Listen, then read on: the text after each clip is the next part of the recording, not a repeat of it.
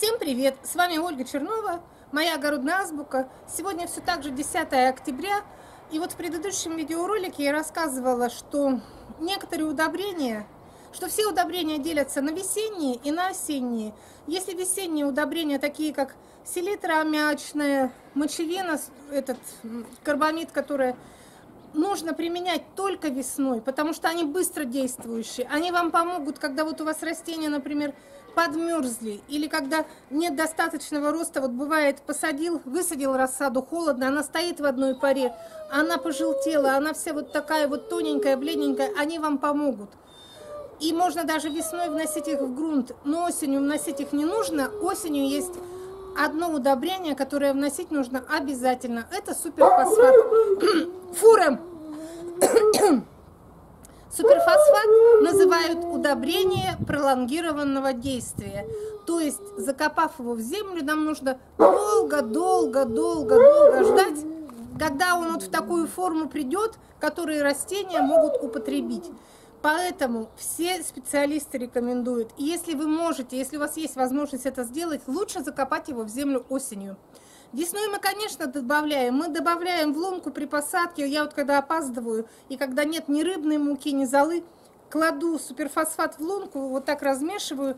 Но правильно многие пишут в комментариях, что этот мой суперфосфат, он сейчас им не дойдет. Но он дойдет хотя бы следующей партии, которая на будущий год будет выращиваться. Но если вы хотите, чтобы растения, высаженные у вас на будущий год весной, не было у них фосфорного голодания, то суперфосфат осенью нужно внести обязательно. Я вот показывала, как я вносила.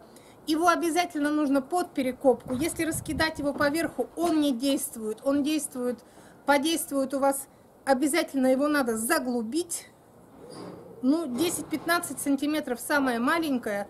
Сейчас вот будут осенние дожди, гранулки размокнут, потому что все знают, опытные огородники, что суперфосфат растворить очень сложно. Некоторые даже пишут, что весной, когда они закапывают в луночку суперфосфат, когда осенью выдергивают свои томаты, даже некоторые гранулы целиком находят.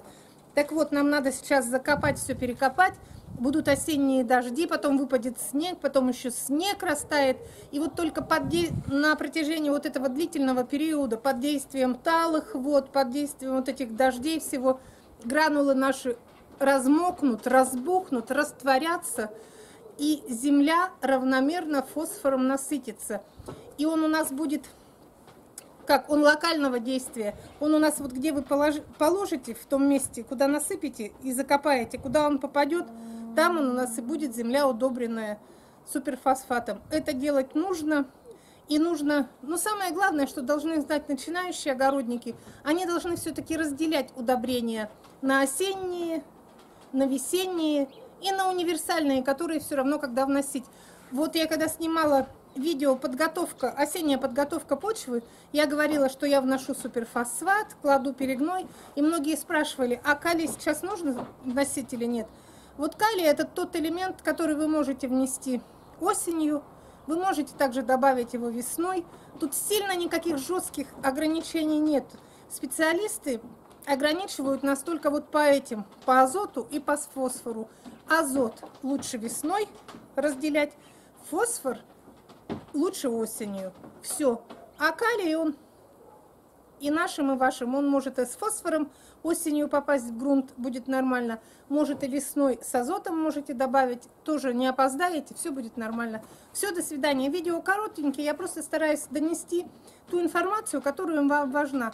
Я сама многими удобрениями не пользуюсь, сильно не углубляюсь в изучение всех. Сейчас ассортимент удобрений очень большой. Я считаю, что голову не стоит этим засорять. У нас есть основные макроэлементы, которые должны получать растения. Остальное можно витаминными коктейлями делать опрыскивание, и все будет прекрасно. Не обязательно знать 20 наименований удобрений и все их применять. Все, до свидания.